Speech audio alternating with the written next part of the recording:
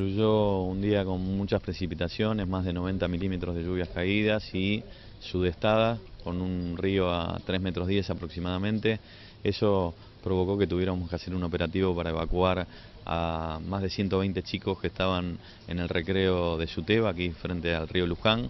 eh, chicos provenientes de escuelas de Malvinas Argentinas, de Moreno y de San Martín. Eh, gracias a Dios el operativo eh, realizado por el el Centro de Operaciones Tigre, por el Servicio de Emergencias Tigre y por Defensa Civil, salió eh, exitoso y los chicos bueno, están en el Consejo Deliberante con abrigo, con chocolate caliente y con, digamos, haciendo los preparativos para que vuelvan a sus casas.